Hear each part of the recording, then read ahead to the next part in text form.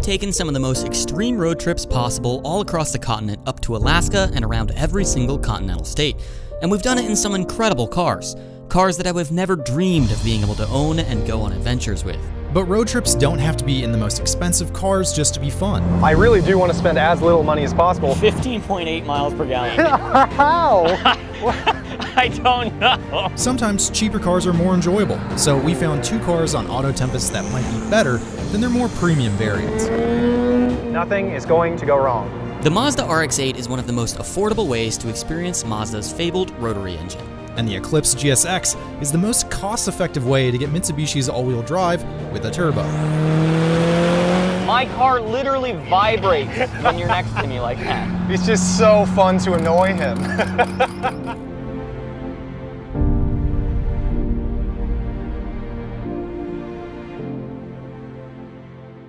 Well, here we are again, taking another road trip, and this time I'm taking a car that I hate to love. Rotary Mazda RX-8. I've always thought that if you wanted to experience a rotary, you should get an RX-8 because RX-7s are like 40 grand, and I think that car is mostly priced like that because of how it looks, not because of how it drives.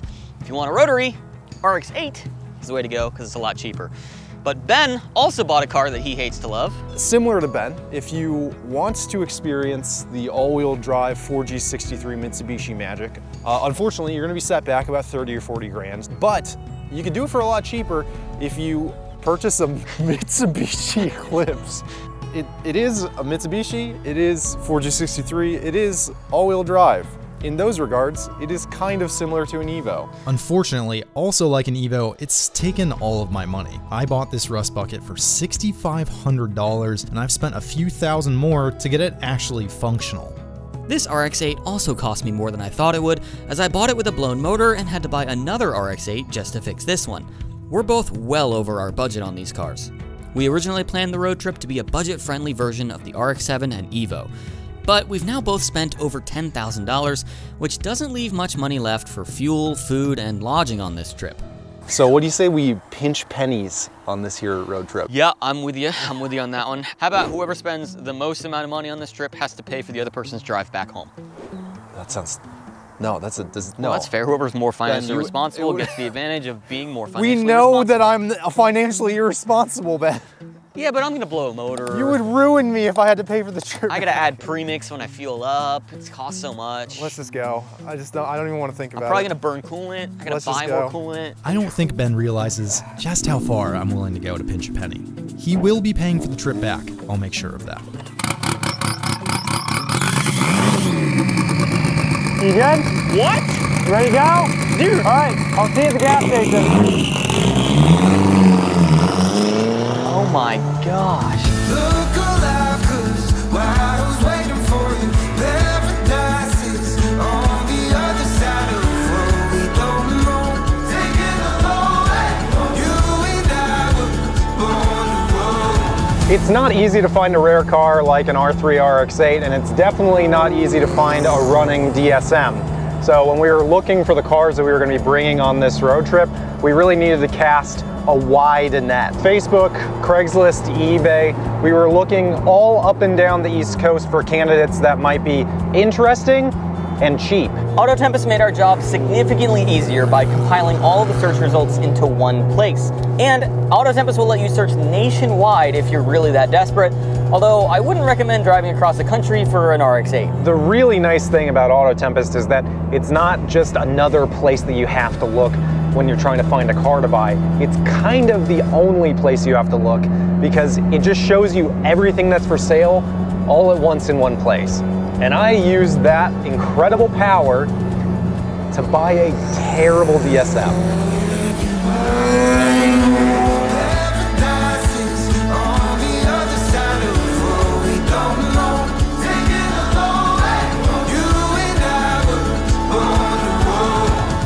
West across the country to Moab, but it's not necessarily about Moab itself. It's about the harsh journey to get there, testing both cars through multiple mountain ranges and a wide variety of climates.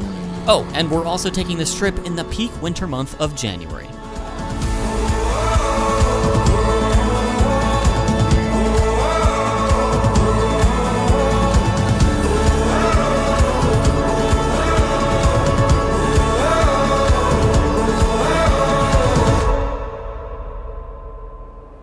Obviously pinching pennies on this road trip and there is a bit of a competition aspect. So I'm trying to spend as little money on the record as possible, but I mean, what Ben doesn't know won't hurt him. Surely some peanut M&Ms and goldfish won't skew the result too much. Just a couple snacks. Ben doesn't need to know about this at all. Except Ben forgot to account for the fact that I'm the one editing this video series. So I saw that, and I saw that it cost $4.45. So it looks like I'm off to a head start. For the first time kind of on one of these road trips, money is really a factor for us. Uh, no joke, I'm poor at the moment, and I would say that Ben is probably in a similar boat. So I really do want to spend as little money as possible, besides the fact that there's a competition aspect to this, and uh, I really want to beat Ben and spend less money on this trip. The one saving grace is that Ben decided to get an RX-8. if anything is going to make a DSM look reliable, it is the Renesis motor in that RX-8. And if anything is going to make this car look fuel economical, it's going to be that rotary right there, buddy. Well, this is not necessarily the most ideal car for a road trip, but I will say it is pretty smooth. So this car is mostly stock. It has an intake, and that is mostly for reliability reasons. It opens up the backside of the radiator so that air can flow through and cool off the engine more. It's also got an exhaust, so you can hear the rotary a little bit better, and it has Fortune Auto coilovers, very comfortable coilovers, and it has wheels and tires. Obviously, I'm running snow tires because we're taking a road trip in the winter. Other than that, it is stock. I mean, it's not even been tuned. It is, there's no check engine light. We're good. But the GSX is making over 300 horsepower and has a rather uh, creative all-wheel drive swap done to it. So I'm obviously worried about a lack of reliability costing me money on this trip. But I think I can make up for it by the fact that I'm super frugal. Ramen noodles are still the primary staple of my diet. So my strategy is to spend as little money on food as possible. Of course, my Eclipse has a low compression built motor, which means it wasn't exactly designed with fuel efficiency in mind, so there's not much that I can do about the cost of gas.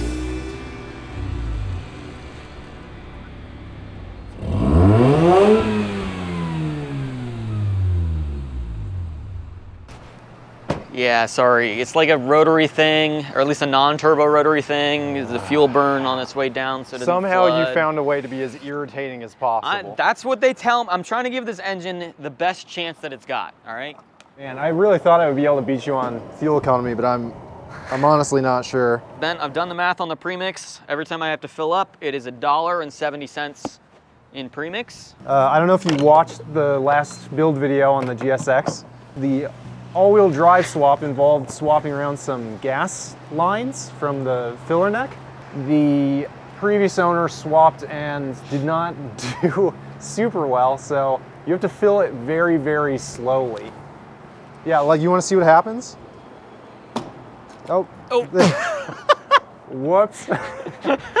yeah, so. And that's money right there, dude. You just lost like I- 20 I know, cents. don't you don't have to tell me. So No, that's pretty. That's really actually. This is Ben. This is the worst I've ever gotten on any vehicle I Well, own. hold on, let me see. The car is stock. It's a stock car. Okay, well, mine's not good. N- nor is mine. I was I was actually dead on with my calculation. It's 19 and a half Oh. miles per gallon.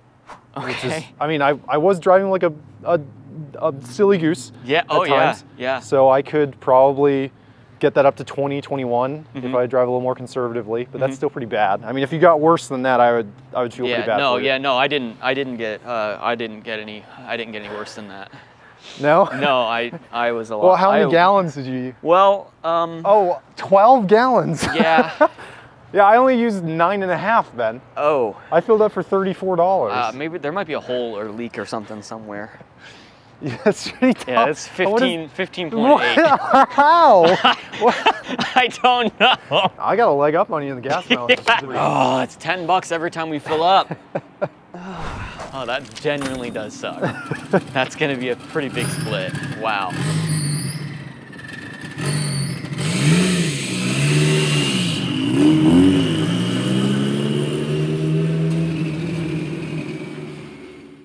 We split a hotel cost for the night and both thought it would be wise to steal as much food as possible from the hotel breakfast bar. It is for the guests, right? Except there was no way that we would be able to return to this hotel, because we decided to leave early in the morning, and Ben's Eclipse isn't exactly neighborhood friendly.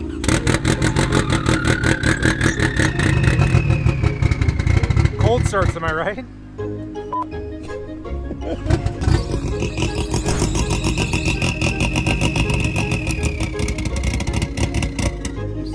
Everybody at the Wingate by Wyndham in Hurricane, West Virginia.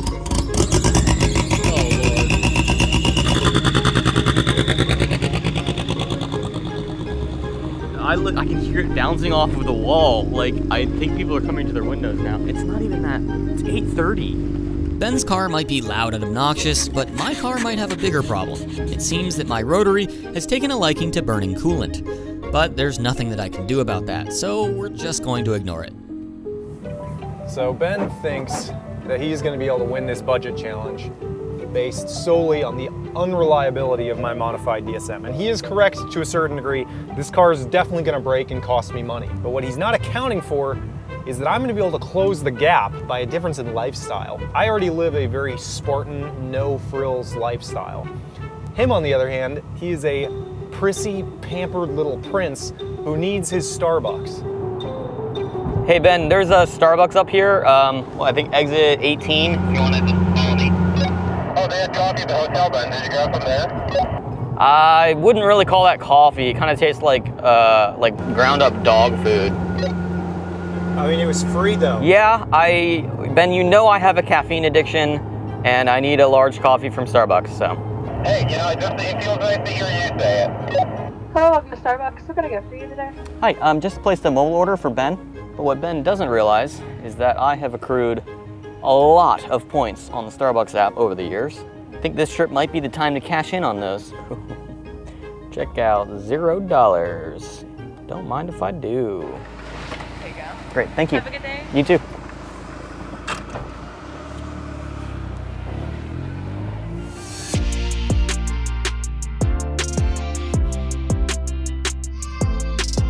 Ben, you want to hear the loudest sound in the world? Ben, I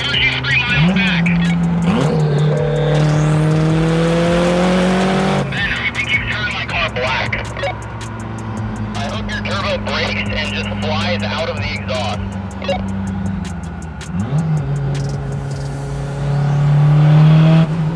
My car literally vibrates when you're next to me like that. It's just so fun to annoy him.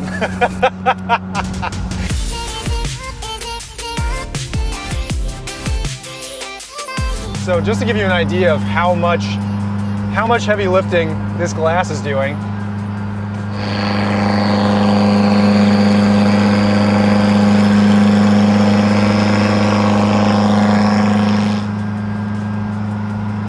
Thank God I have working windows. Ben, I like that we've ascended to the point where we can know that both of these cars suck, but also they're really cool at the same time. Yeah, I simultaneously despise and also really appreciate both of the cars that we have. Uh, and I think that we, we picked two good cars, to be honest. Yeah, I'm uh, ready for a nice, easy road trip.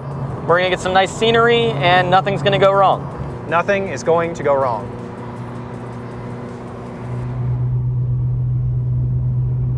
Uh, Ben, we need to take the next exit because uh, my check engine light just came on, and I'm gonna need to give that a check. Bro, you're joking. Ben, we're, we are in West Virginia. We've only made it one state over. Okay, Ben, don't think I didn't see you at the last stop trying to adjust your car, and I, I saw those wrenches out fixing stuff. Yeah, nothing's broken, it was preventative. I don't, nothing's broken either. I just got a light on the dash. That's it, buddy. I'm not wishing ill on Ben. I think it's important to point that out. It's just funny. When we were working on this car, it had, I think, six check engine lights initially, Okay. so it could be a lot of things. I think P- P0420. P0420. Yeah, that's cat- that's the cat. system. P0420. P0420. Um, I have this little button right here. I can press that, and now I don't have a check engine light. So now, so now I'm. Now, the, I've got now no. the problem has been fixed. There's no problems anymore. Yeah, we're we're Yeah. good to go. All right. My first reliability scare, and we're only one state over. I'm only $5 behind so far, but with each gas stop, I'm gonna fall further behind.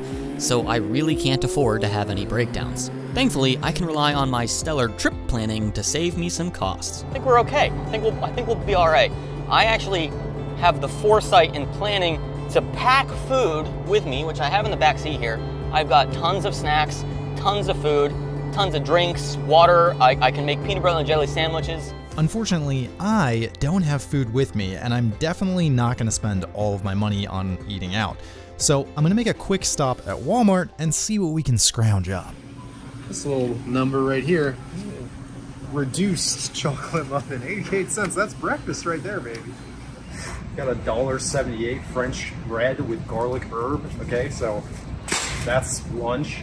Got three dollar Jif Crunchy. That's gonna last me two days. Got some uh, unripe bananas, so that'll delay me eating them. These are cheap. Got four Gala apples. These were $1.37 a pop. Some Red Bull, because uh, it's going to be more expensive to buy at the gas station. So, saving some pennies that one. $19.82, and I think this should be at least two days worth of food.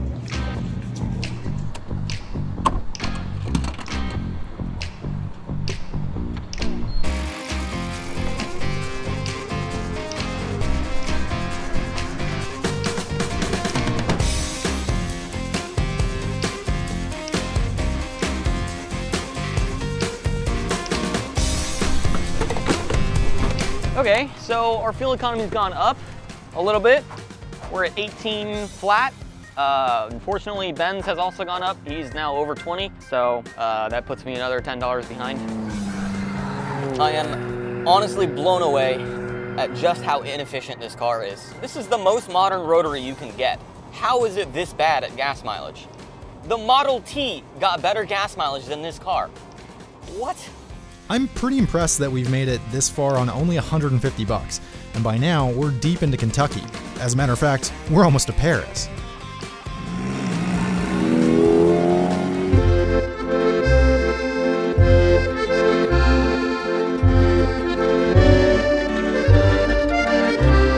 Wait, no, th- Ben, you're on this. Oh, Yeah, right, yeah. obviously. Obviously, Eiffel Tower, Paris, France, Right. whatever. They got that idea from Paris, Kentucky. Really? Is this, this, is the original? This was here before. Wow. No, actually, they put this in in 2021. yeah, that makes sense. Is the Eiffel Tower also white? I don't know. I've never seen it. I don't think it's white. Well, Ben, I, I guess you know we're kind of already we're in France as it is, so you know you want to bust out some lunch. I've got some water from Walmart. Yeah, same.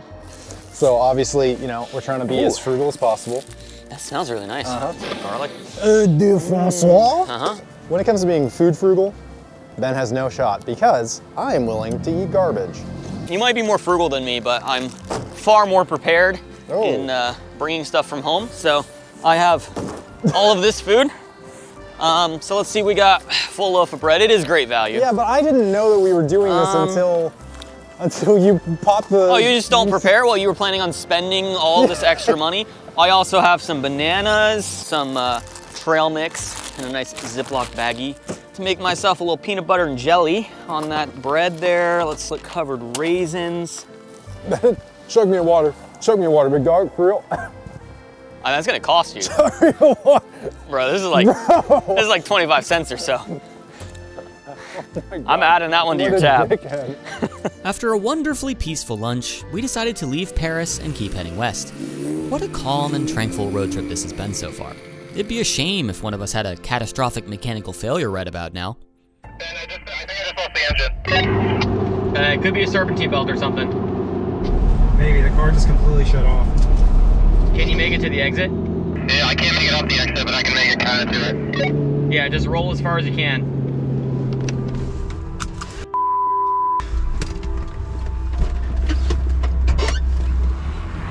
Uh, I was cruising, just steady state throttle in fifth gear, and suddenly it just went boom, and then just shut off completely. Timing belt. Yeah, timing belt, right. Is it still? Oh no. Yeah, you blew the motor. Wow.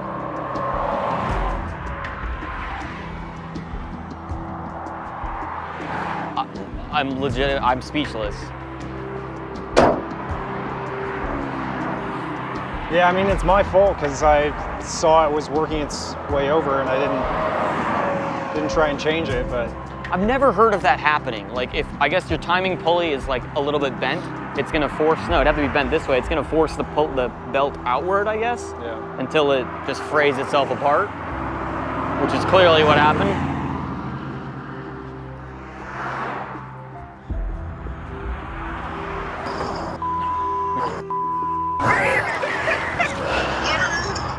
Word!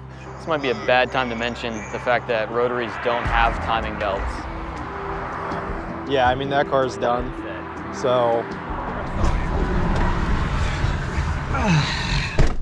Well, uh, let me see. ah! Dude, It does suck. Yeah, I'm like really conflicted because I really did like that Eclipse. I think it's a really good car. I'm like, I was jealous of it. Not gonna lie, it's cool. But I'm also like super happy now because I I'm, I think I've won the Who cost. cares? I've won the cost challenge good, for sure. yeah, good, great. It- like, this is like an actual, like, I am personally Yeah. Well, I don't know. Yeah. So what's the plan? What do you want to do? I can take it to my tuner, Ken. Uh, he says he has another head, and we can put it on the motor. We have a game plan.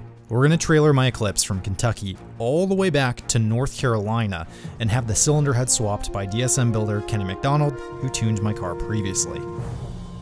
But RX-8s can't tow car trailers, so the first step is to get a U-Haul. Got my heart no. Heart no in the bed. Right now the gas gauge is at zero. So we have to leave U-Haul and go directly to fill it up with, I would say this probably has like a 40 gallon gas tank. And it's a 7.3 liter V8. Then don't want me breathing. Ben, don't forget to count this up on your tally. I want receipts for all this gas. This will be at least a hundred bucks, right? Yeah, I, I think at least that. If if this truck beats the mileage of my RX-8, I'm gonna be really sad.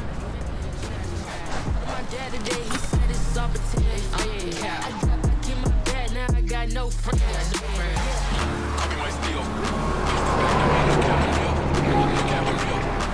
All right, now we just gotta go to Valvoline, drop the RX-8 off. Yep. Then we're going to Charlotte, North Carolina, and we're getting this head swapped. Valvoline's headquarters are here in Kentucky, and since I don't want to risk putting extra miles on the rotary, we're going to drop off the RX-8 here for a little detour back down to North Carolina. Because I don't want to push my luck any more than I have to, and I might as well save the fuel costs as well. You smell the coolant too. I do smell running. coolant, yeah. So maybe let's just leave it here.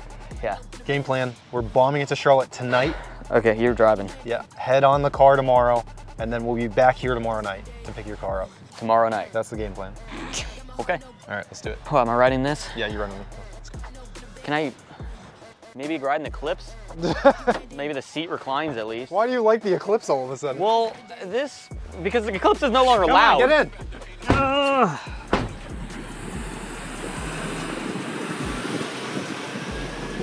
Yeah, we're getting about six and a half miles per gallon right now, towing the Eclipse with a 20 foot box truck. Uh, we're driving six hours tonight. We should get there around 1.20 a.m. And Ken said he might start on it tonight. So I love it. All I have left is to be excited. I don't, I don't know what I did to deserve. Is it because I made fun of the previous owner so much in my build series? Previous owner installed them. This man is my nemesis. No, I think you just bought a bad car, Ben. Yeah, Anybody could have told you that. Think about it this way, Ben. Nothing that you did to the car broke. that's true. Hey, that makes me feel good. Yeah. I, maybe I should have checked that timing belt before Probably. we left, though. Yeah, probably. It's about a 400 mile drive down to Kenny's shop in North Carolina. I tow the Eclipse non-stop through the night on our six hour drive back from Kentucky. I'm willing to throw away sleep if it means getting this car back on the road for a reasonable price. So we've gone um, 203 miles and we need gas. Uh, we've been getting seven miles per gallon.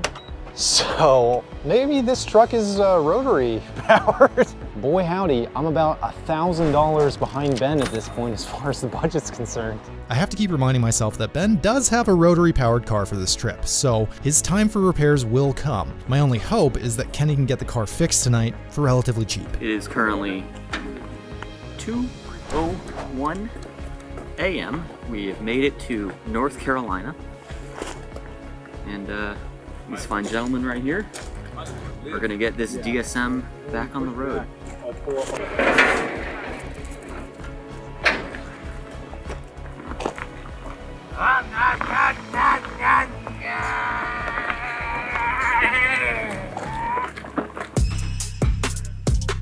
Kenny is an OG in the DSM community. He's been building DSMs for decades now. When I sent him a video of my timing belt failure, he was confident that the bottom end was fine and we could have the head swapped in just a night. And we'll have to get the job done tonight because this failure threatens to put the trip massively behind schedule. With the help of his fellow DSM enthusiasts, Lorenzo and Isaac, we all get started tearing the Eclipse apart as quick as we can.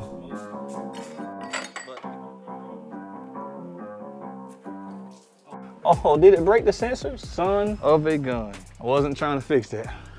But guess what? Being I was prepared. I know there's a lot of riffraff about Gates and uh, Grady timing belts because they're very stiff and there's not a lot of give to them, but there's nothing wrong with them, okay?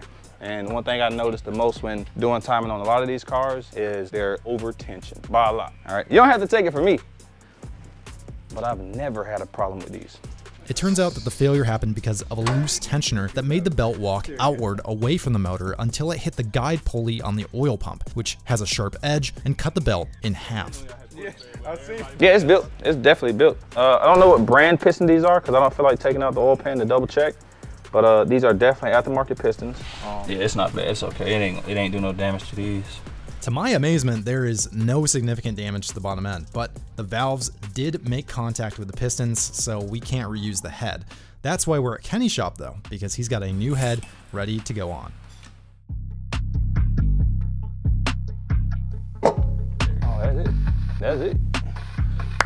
Heads on, baby. It's morning time, fellas. It's 7 a.m. now, only 5 hours after we got started, but the car is all together now and we're ready to fire it up and be on our way.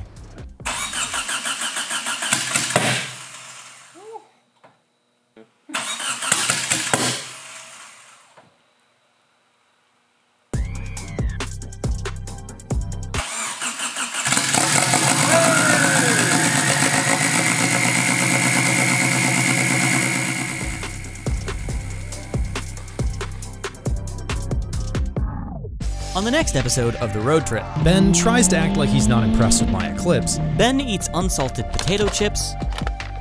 and Ben tailgates me. Thanks again to AutoTempest for sponsoring this trip. Head over to autotempest.com or download the AutoTempest app with the links in the description below to find your next car. Just make sure you make better choices than we did.